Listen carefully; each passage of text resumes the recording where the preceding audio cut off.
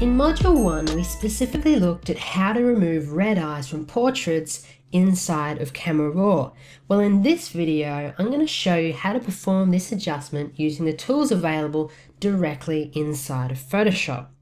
Now you'll find Photoshop's red eye removal tool in the tools menu on the left hand side of your working space. Now if you just navigate down to the spot healing brush or press J on your keyboard to uh, actually find that, what we'd need to do is actually click on this icon to bring up a tools drop down menu and if we just navigate to the bottom of that little drop down menu you'll find the red eye removal tool.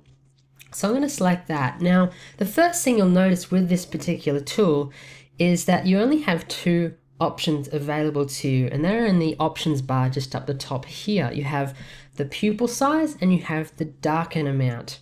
So essentially, how the red eye removal tool works, it works very similar to the red eye removal tool in Camera Raw, except for it has uh, limited options. So what you essentially need to do is basically draw a rectangle or a square over the affected area of the actual eye. As you can see, uh, what I've actually just done now. And you'll notice that now it's actually removed a certain amount of red from that particular pupil. The only problem is it hasn't actually removed all of it. And you can play around with the actual, uh, the actual pupil size and you can also play around with the darken amount. Now, with the darken amount, what often happens is when you actually desaturate uh, a particular color, they usually tend to be slightly on the lighter side. So what often happens is if you desaturate the red from the pupil, what you actually need to do is add some density to it so it sort of blends in with the rest of the eye. So essentially, what I've actually done here, uh, it does a relatively good job um, just by adjusting the pupil size and tweaking the darken amount. So if I now go and adjust this particular eye, you'll notice that once again the first adjustment hasn't been that great. It hasn't actually got rid of all of the red from the eye. I make another slight adjustment and now it's it's actually picked another section of the eye to actually remove red from. So Whilst it does an okay job, it doesn't do a great job. So there are actually other ways of going about removing red eye from portraits in Photoshop. So one in particular, uh, if I just quickly go back to my history and we'll just drop back to the original state of this image, one way in particular to quickly remove red eye is to grab the elliptical marquee tool. And what we're going to do essentially is basically select the areas uh, that are affected in the eyes. And just by holding shift down on your keyboard, I can add to my selection. So I'm just going to add this eye to my selection. So now I have two eyes. Now they're pretty rough selections, but they'll do for this example. And the next thing you essentially want to do when you make your selection is actually feather it. So we'll go to select, we'll go to modify, and then we'll go to feather. Now I'm just going to add, say, a three pixel feather, and I'm going to click OK.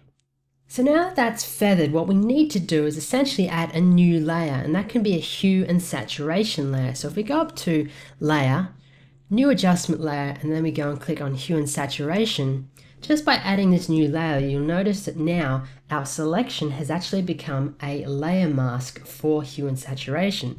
If I just hold down Alt on a PC or the Option key on a Mac, you'll notice that's our specific layer mask with the two white dots in the middle of this black sort of vast mass.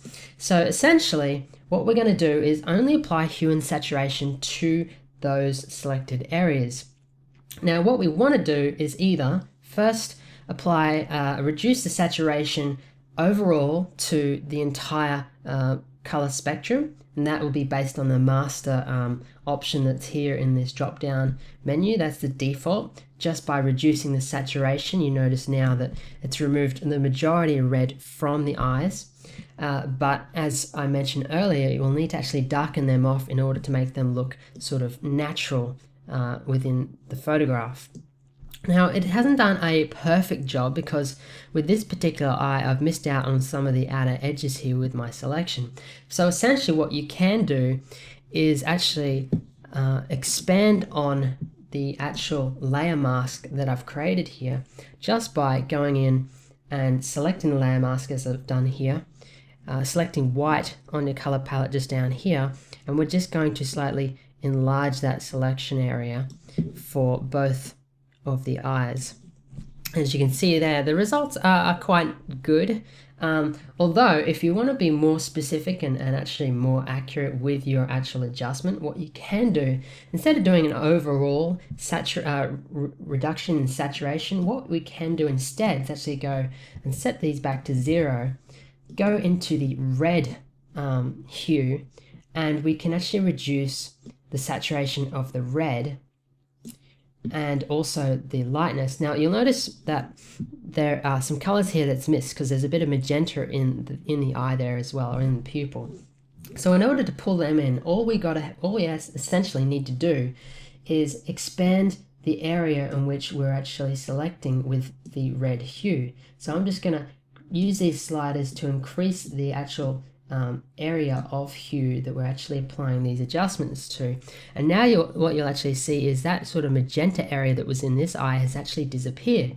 And now we can proceed with actually just applying a, um, a reduction in lightness value.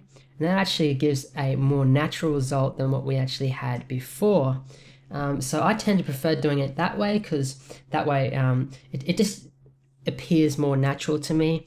Uh, but you're more than welcome to either use the red eye removal tool that's available in the tools menu or apply this particular technique and basically choose the result that you're most happy with.